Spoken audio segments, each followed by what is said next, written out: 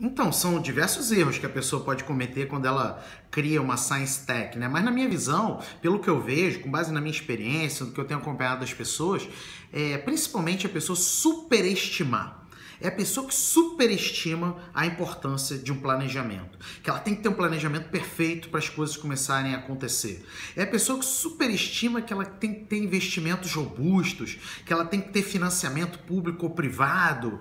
É a pessoa que superestima que ela depende de muitos fatores para que a sua Science Tech vá para frente.